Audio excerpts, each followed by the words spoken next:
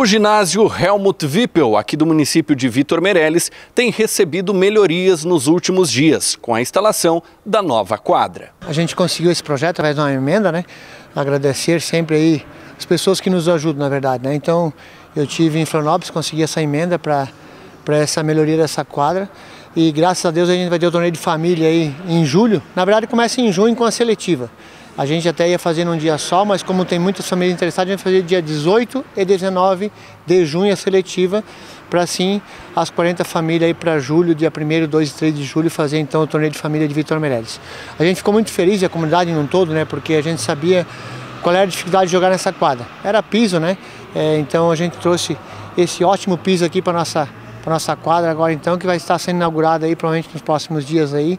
E a comunidade em todo, as crianças que aqui jogam, as pessoas que vêm para o município de Vitor Meirelles vão ver a qualidade que ficou essa quadra. Então a gente ficou muito feliz por isso, né? Eu acho que só veio a somar aqui, agregar com, a, com o ginásio aí de Vitor Meirelles aqui, o ginásio Helmut Vip.